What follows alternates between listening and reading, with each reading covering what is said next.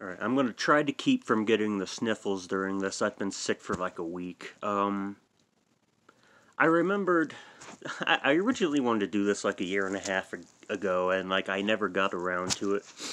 I wanted to show people uh, how to do Bruce Lee's one-inch punch, or at least how my girlfriend taught taught me. I don't know if there's other ways, but uh, go ahead and do this with me. I'm going to show you what not to do because like I thought that like what you would do is you would want to like tighten your arm as much as possible. So we're going we're going to bring both of our hands together. So like just tighten and I was doing the I tried to make this earlier and like I I hope I hope that I can All right. Now, the way this is supposed to work, and you can do it with me too, is instead of like tightening everything, you keep your arm loose.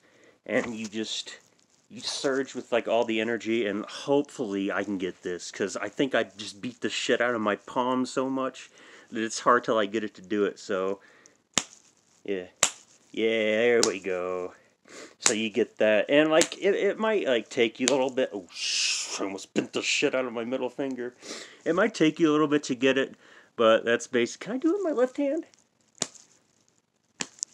I'm not really like left-handed. I can, yeah, I can kind of do it. But yeah, that's basically it.